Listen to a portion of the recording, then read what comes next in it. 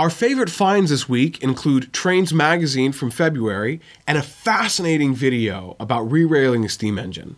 This is Railroad Showcase.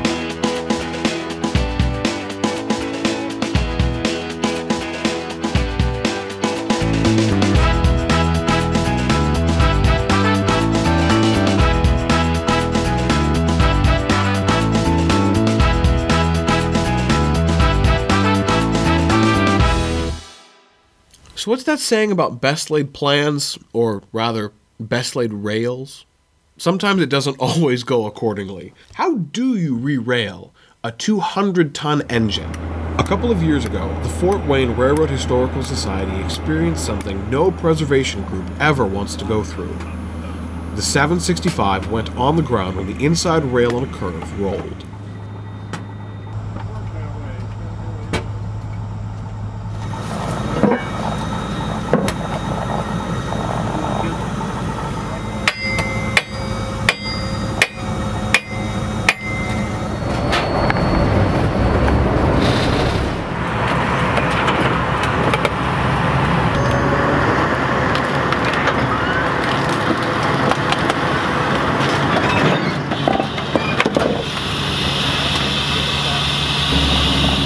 up and I want to get another block there to keep any twisting down to a minimum.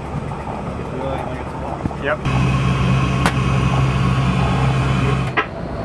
31's ready. Ellie drive. 765.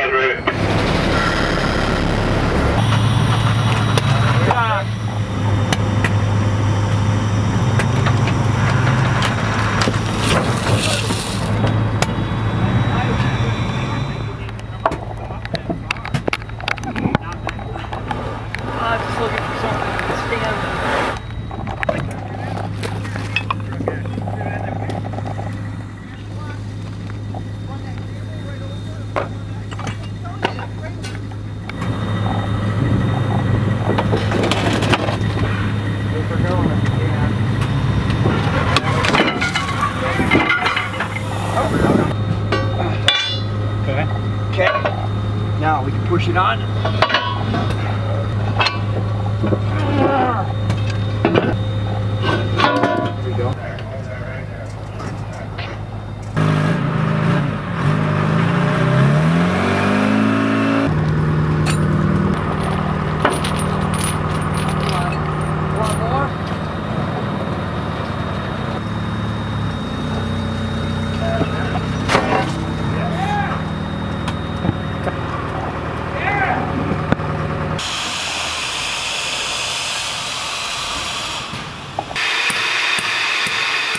Really thought it was interesting how they used the extended reach forklift to pull that back truck over while re-railing. Like, yeah, you use whatever tools you have at your disposal to get the job done.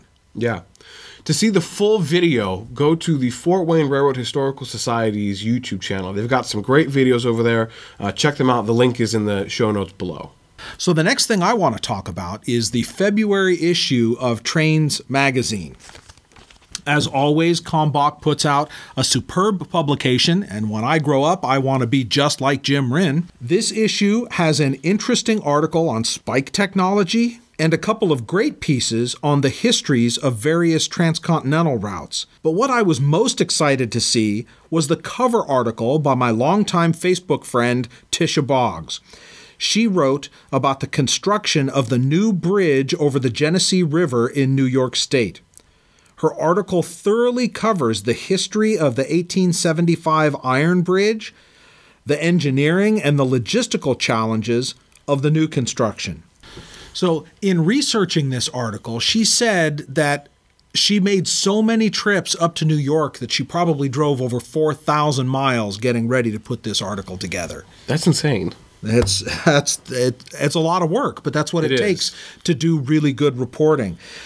And she also said that the thing that impressed her the most was the pride that the Norfolk Southern crews and that the construction crews put into this project. I mean, just to begin with, it was an engineering feat, but they had a lot of constraints from the various different stakeholders in the project, and they had a lot of hoops that they had to jump through to get it done. And all of these people were really taking the job seriously and took a lot of pride in getting it done. Well, with a project like this, it's it's earned. Right, right. So, Trains Magazine February issue. It'll be on your, uh, it'll be on the newsstands somewhere near you. You know, someone asked me if we were trying to be in competition with Trains Magazine. Well, you know, there is nobody that's in competition with Kalmbach or White River. They are the big fish in the pond. But you know, there's actually there's actually a different way that I have of of looking at that. It's it's all about time and attention.